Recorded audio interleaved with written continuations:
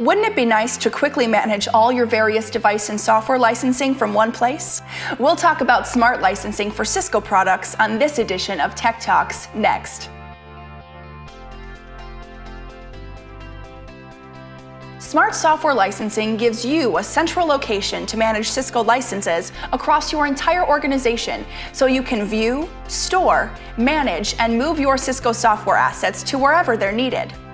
Imagine that. No need to manage product activation keys and license files because Smart Licensing pools it all together to save time and reduce operational costs. Today, I'm going to show you how to use your Smart account to take advantage of Smart Licensing. The first thing you'll want to do is go to the Cisco Smart Software Manager homepage and log in using your Smart account. Then click the Launch Smart Software Manager button. That will take you to the Smart Software Licensing page. Let's take a look at your options here. In the Alerts tab, you can manage major and minor alerts sent to the system. As you can see, there are currently no alerts. From the Inventory tab, we can see all virtual accounts. Choose from any available virtual account to manage the products associated with that account. From the License Conversion tab, you can view all the product activation keys that can be used for traditional licensing and smart software licensing.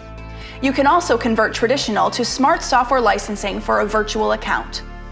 From the Reports tab, you can run reports against the virtual accounts for licenses, subscriptions, and other features. From the Preferences tab, you can change your email and status settings. Looking at the Satellites tab, this is where to create and manage satellites. If you're security sensitive and don't want to manage your installed base using a direct internet connection, a smart software satellite can be installed on your premises and provide a subset of Cisco SSM functionality. After you download the satellite application, deploy it and register it to Cisco SSM to view and manage all satellites from this page.